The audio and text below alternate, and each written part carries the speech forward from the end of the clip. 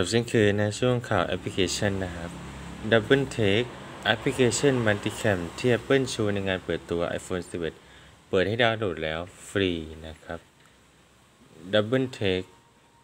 โหลดฟรีที่ App Store Apple เผยฟีเจอร์ ถ่ายวิดีโอด้วยกล้องหลายตัวด้วย iPhone 11 ในงานเปิดตัวเมื่อเดือนกันยายนที่ผ่านมา โดยในตอนนี้ 28 มกราคม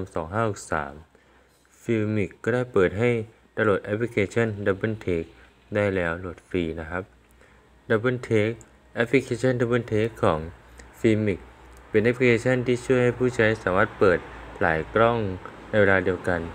โดยแอปพลิเคชันตัวนี้ดึงความสามารถของกล้องหลายตัวใน iPhone 11 iPhone 11 Pro และ iPhone 11 Pro Max มาใช้นั่นเองนะครับ เริ่มแรกแอปพลิเคชันตัวนี้จะแสดงหน้าต่างกล้องหลักและกล้องรองนะครับผม โดยเป็นกล้องหน้าและกล้องหลังของ iPhone โดยใน iPhone 11 Pro Max จะแสจะแสดงหน้าต่างของกล้อง 4 ตัวได้แก่ Wide Ultra Wide Telephoto และกล้องหน้านั่นเองนะครับ ผู้ใช้สามารถเลือกอัดวิดีโอจากหลายกล้องพร้อมกันได้ หรือได้แค่เทียสองกล้องเท่านั้นนะครับ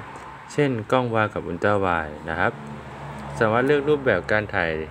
หรือการแสดงหน้าต่างได้แบบ เช่นแบบ PIP